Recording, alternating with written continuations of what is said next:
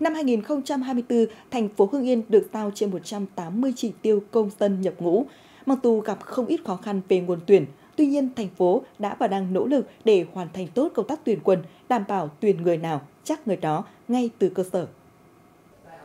Cao Như Cường, sinh năm 2001, ở phường Quang Trung, thành phố Hưng Yên, vừa tốt nghiệp trường đại học công nghiệp dệt may Hà Nội. Mặc dù đã tìm được công việc ổn định sau khi ra trường, tuy nhiên khi có lệnh và được động viên đi khám sơ tuyển nghĩa vụ quân sự, Cường sẵn sàng gác lại dự định riêng, quyết tâm lên đường nhập ngũ để rèn luyện, trưởng thành và góp sức mình cho Tổ quốc.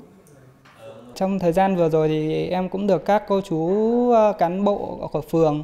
động viên gọi điện hỏi thăm và cũng được quan tâm để cho đi học lớp bồi dưỡng nhận thức về đảng và em cảm thấy rất là vui. Gia đình thì hoàn toàn ủng hộ cái quyết định nhập ngũ của em. Chúng tôi thực hiện bằng cách tuyên truyền từ dưới phường và xuống các khu phố để đảm bảo cho công tác tuyển quân khi các công dân à, đến khám là đúng thời gian, đủ quân số theo quy định. Kết quả thì phường Trung có 10 thanh niên đã trúng tuyển, trong đó thì có 5 công dân đã tốt nghiệp các trường đại học Gia đình thanh niên Đào Ngọc Thành ở tổ dân phố Sách Đằng, phường Lam Sơn có hoàn cảnh khó khăn khi bố bị tai nạn bất sớm. Người mẹ là công nhân môi trường, một mình nuôi hai anh em Thành ăn học. Tốt nghiệp xong cấp 3, em tự xin việc làm ở các quán hàng ăn để có tiền phụ giúp mẹ. Để Thành và các tân binh an tâm lên đường nhập ngũ đợt này, phường Lam Sơn đã huy động các ban ngành đoàn thể vào cuộc – Nòng cốt là Ban Chỉ huy quân sự xã kiên trì làm công tác tư tưởng thăm hỏi động viên về vật chất tinh thần đối với các gia đình có công dân nhập ngũ.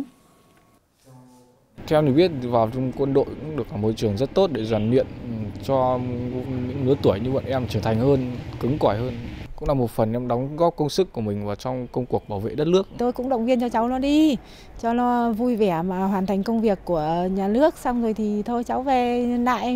hòa nhập với gia đình. Chúng tôi trên cơ sở nguyên tắc chỉ đạo ba gặp bốn biết phối hợp với các cơ quan chức năng đến gặp trực tiếp từng công dân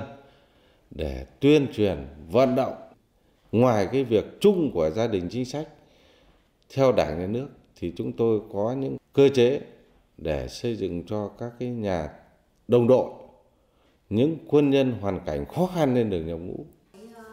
Ngoài việc tăng cường phối hợp nắm chắc tình hình tư tưởng tâm tư nguyện vọng của thanh niên và gia đình, cơ quan quân sự các cấp ở thành phố tổ chức chặt chẽ việc thâm nhập ba gặp bốn biết. Với một số xã phường khó khăn về nguồn, tiếp tục đôn đốc chỉ đạo khám sức khỏe bổ sung những trường hợp đi làm xa vắng, tặng quà động viên thanh niên trúng tuyển nghĩa vụ quân sự yên tâm phấn khởi lên đường nhập ngũ, đồng thời kiên quyết xử lý nghiêm các trường hợp trốn tránh, chống lệnh khám, lệnh gọi trong thực hiện nghĩa vụ quân sự.